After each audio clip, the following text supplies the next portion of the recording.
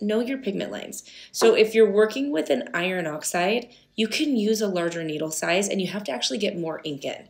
So if I'm putting four layers into the skin, these two layers scab off in the healing process. They're gone. Um, so you actually have to put more ink in with an iron oxide and you want to use a larger needle configuration. Otherwise, in a few years, they're going to heal warm, right? But if you use a larger needle configuration with a carbon, now this is a combination carbon and iron oxide. So this is like in between carbon, PermaBlend is just carbon. LI Pigments, this is an iron oxide. This is a hybrid of the two. So still go easy because it does have a carbon. You don't want to put too much ink in. So if I'm using a straight carbon, I'm using like a single needle, three round liner as well little saturation. You're not putting too much in because this will turn gray over time. You don't want to oversaturate. So with this hybrid line, I'm staying super conservative. Um, I'm not oversaturating the brow like I would have to with an iron oxide.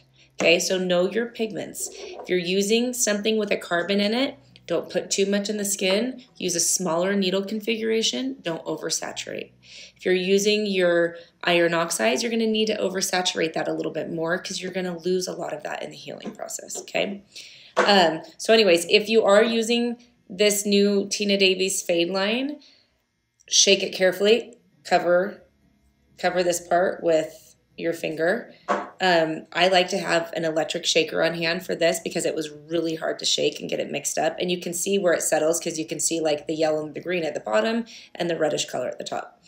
Um, and definitely have some sort of ink soap on hand to wipe if you're using this. I mean, I feel that same way about PermaBlend, honestly. I don't need ink soap when I'm using iron oxides.